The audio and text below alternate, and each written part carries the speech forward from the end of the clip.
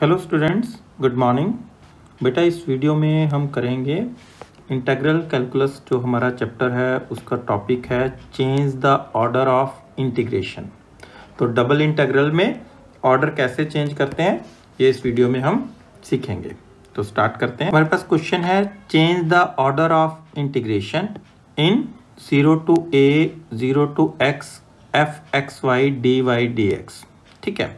तो इस क्वेश्चन में हमें सिर्फ़ ऑर्डर ऑफ़ इंटीग्रेशन चेंज करना है। इंटीग्रेशन नहीं करनी, सिर्फ़ उसका ऑर्डर चेंज करना है। ठीक है? तो फ़ंक्शन का इसमें हमारे लिए कोई इंपॉर्टेंस नहीं है, क्योंकि फ़ंक्शन की ज़रूरत पड़ती है सिर्फ़ इंटीग्रेशन करने के लिए। यहाँ पर क्या है? पहले हमें y के साथ इंटीग्रेट करना है, उसके बाद x के साथ इंटीग्रेट करना है। तो जब ऑर्डर चेंज करेंगे तो उसमें पहले x के साथ इंटीग्रेशन होगी, बाद में y के साथ इंटीग्रेशन होगी। ठीक है? तो अब इसको दो स्टेप्स में क्वेश्चन को किया जाता है। पहले हमें स्टेटमेंट को अच्छे से समझना है। ठीक है? अब ये देखो, ये जो स्टेटमेंट है, दो लिमिट्स दी हुई हैं। एक है ज़ीरो से a, दूसरी है ज़ीरो से लेके x तक। तो अंडरस्टूड है यहाँ से अगर आप देखोगे तो जो वेरिएबल लिमिट है ज़ीरो से लेके x तक ठीक है तो ये लिमिट किसकी हो सकती है? एक्स की लिमिट तो कभी एक्स में आएगी नहीं। इसका मतलब जो ज़ीरो से लेके एक्स तक की लिमिट है, वो अंडरस्टूड है कि वो वाई की लिमिट है। और ये लिमिट्स किसकी हैं? ये x की लिमिट है। तो हम यहाँ पर लिमिट्स को लिख लेते हैं, ठीक है? तो y की लिमिट्स हमें क्या दी हुई हैं? Y की लिमिट्स दी हुई हैं ज़ीरो से लेके x तक। और x की लिमिट्स हमें दी हुई हैं ज़ीरो से लेके ए तक।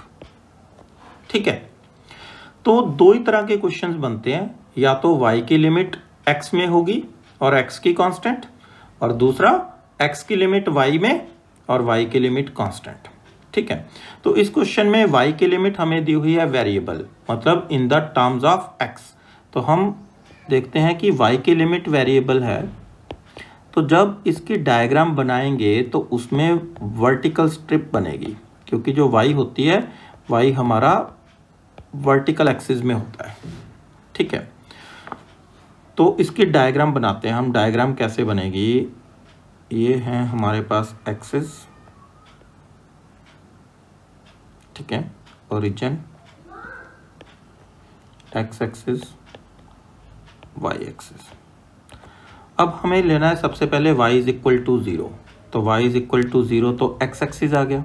ये होगी line y is equal to zero. Second line हमें लेनी है y is equal to X तो y is equal to X आ गई हमारे पास ये वाली लाइन। ठीक है? ये आ गई y is equal to X उसके बाद हमें लेनी है x equal to zero. X equal to zero तो y एक्सिस है।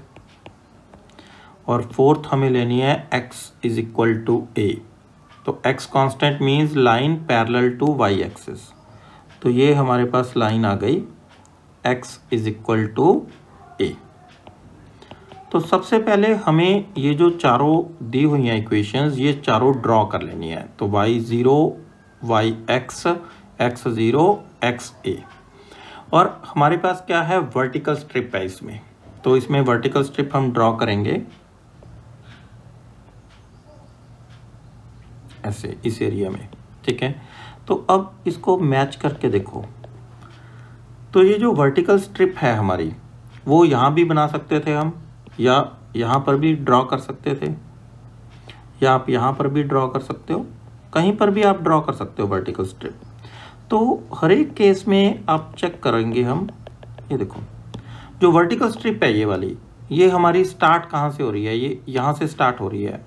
और यहाँ पर y की वैल्यू कितनी है? ज़ीरो और ख़त्म कहाँ पर हो रही है ये? इस लाइन पे। इस लाइन पर y की वैल्यू कितनी है? x.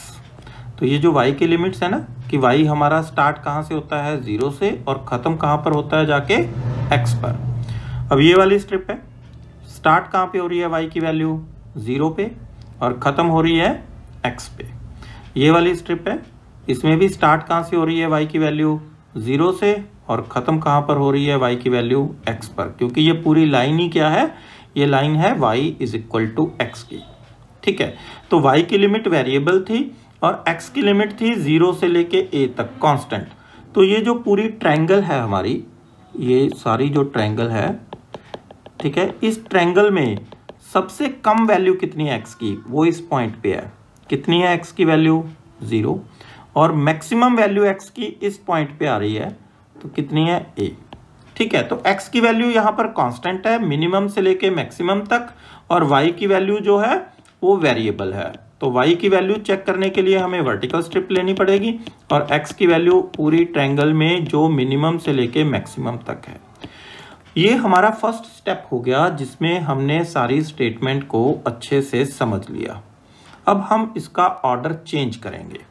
तो ऑर्डर चेंज करने के लिए इस डायग्राम को वापस बनाएँगे नए सिरे से।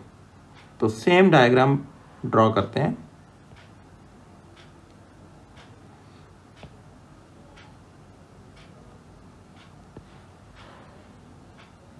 ठीक है?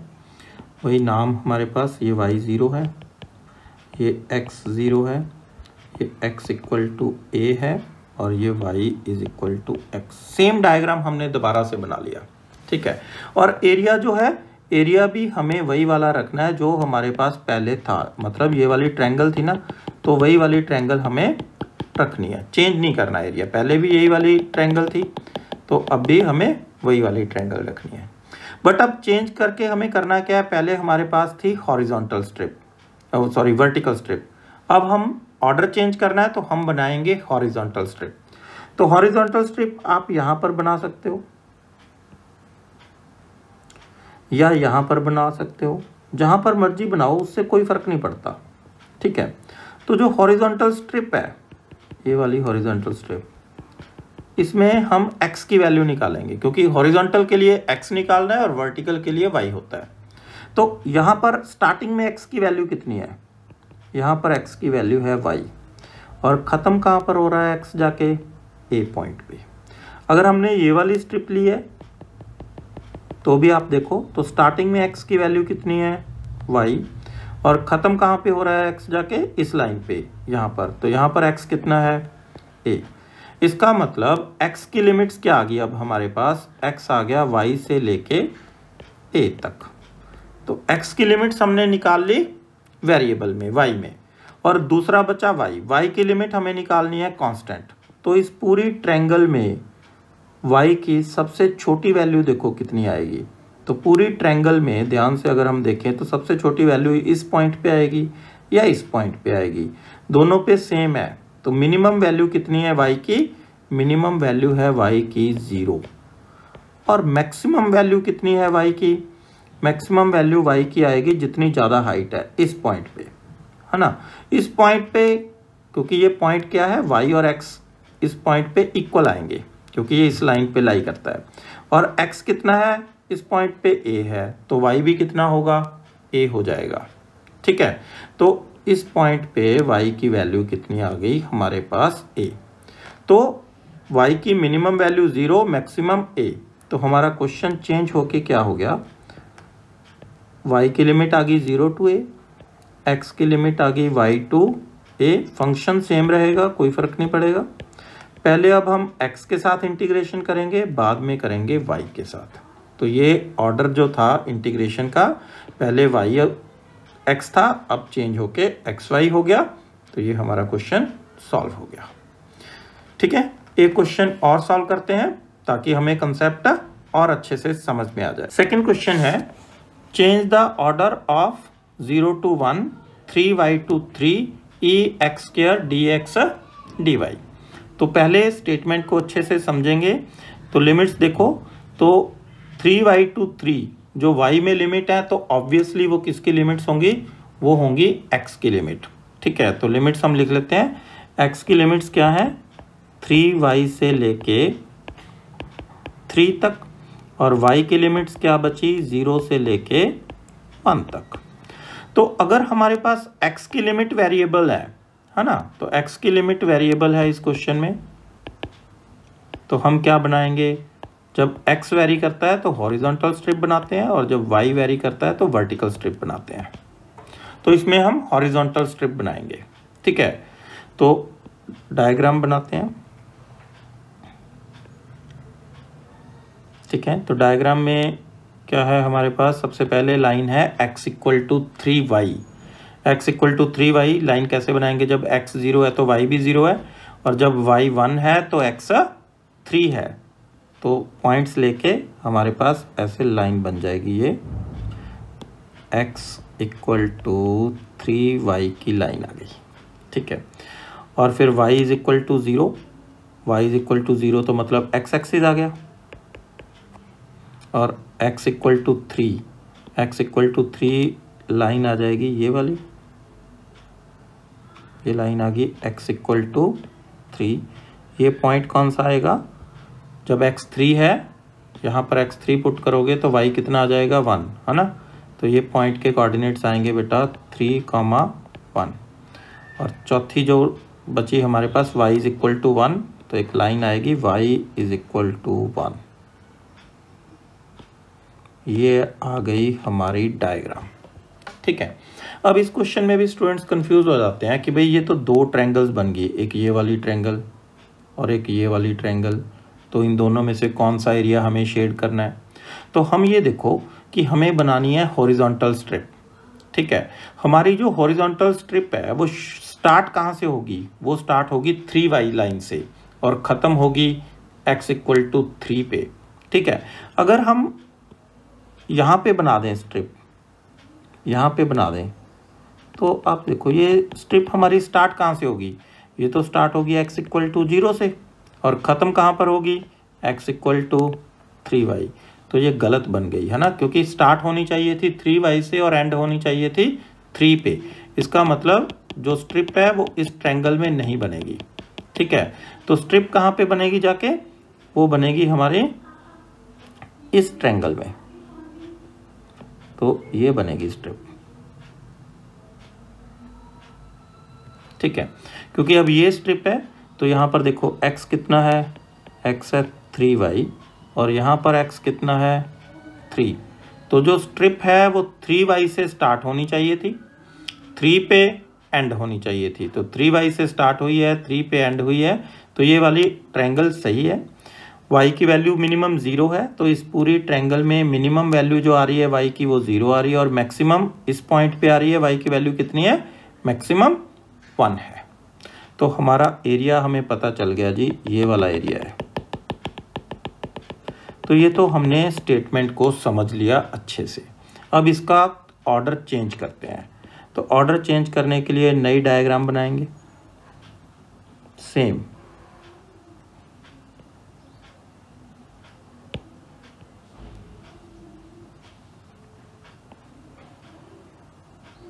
ठीक है?